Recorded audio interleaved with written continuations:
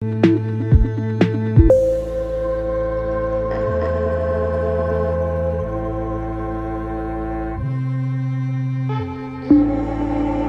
sejahtera seluruh warga Malaysia. Berita hari ini daripada Roti Kaya, Kertas Kesehatan, Kes Gangguan Seksual, Ustadz Ebidlius sudah lengkap.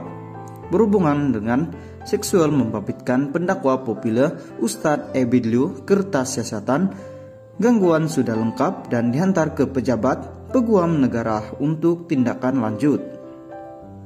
Memetik laporan harian Metro, Pengarah Jabatan Kesehatan Jenayah JSJ Bukit Aman pihaknya sedang menunggu maklum balas daripada pejabat peguam negara tidak lama lagi. Bagaimanapun kita juga meminta mereka mempunyai maklumat tambahan supaya dapat tampil membantu kesehatan katanya.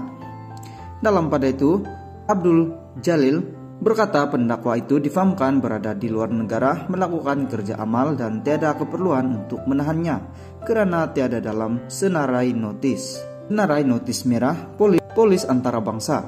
Buat masa ini biarlah dia melakukan kerja kebaikan di luar negara karena itu haknya. Jika dia ikut peraturan negara terbabit, ia tidak menjadi kesalahan.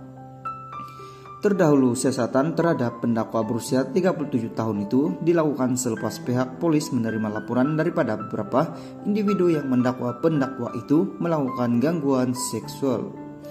Malah, Ebet Liu telah pun dipanggil polis untuk menyatakan maklumat berhubung penyebaran video gangguan seksual dikaitkan pada 19 Agustus lalu. Bagaimanapun, selepas selesai memberi keterangan, Ebit mengatakan dakwaan itu bernafsu fitnah kejam ke atas dirinya. Sekian berita hari ini, sekian terima kasih.